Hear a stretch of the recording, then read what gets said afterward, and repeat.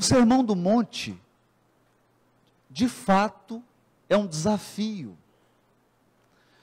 E é um desafio até para grandes espíritos. Quando Eurípides Barçanufo foi apresentado aos postulados da doutrina espírita, uma das primeiras e grandes dificuldades que ele teve foi de entender o Sermão do Monte. Então, naquela região rural de Sacramento, em que havia uma espécie de grupo rústico, na sua maioria composto de lavradores, pessoas muito simples, sem nenhum acesso à educação formal, mas pessoas muito humildes, operosas, honestas. Ele foi convidado a participar de uma reunião mediúnica e ele disse que só acreditaria no Espiritismo se João Evangelista explicasse o sermão do monte para ele. Quem pode pedir, pode, né? Como era Eurípides Barçanufo, um dos lavradores mais humildes, completamente analfabeto,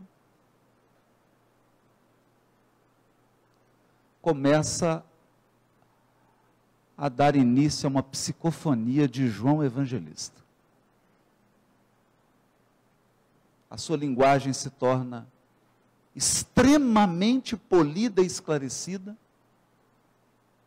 E durante muitos e muitos minutos, João Evangelista explica o Sermão do Monte para Eurípides Barçanufo. Ao término da reunião mediúnica, ele se declara espírita para o resto da vida. O resto da história não precisa contar.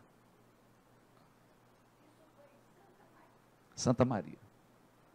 Santa Maria.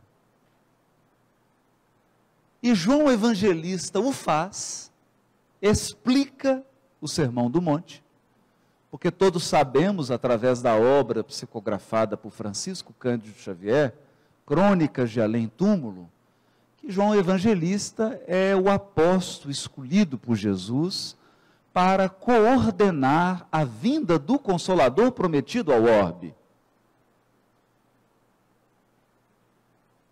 É o executivo do Cristo. Tanto que no Prolegômenos de O Livro dos Espíritos, o primeiro espírito a assinar é João Evangelista, antes mesmo do espírito de verdade. Ele é o grande coordenador e explica essa mensagem.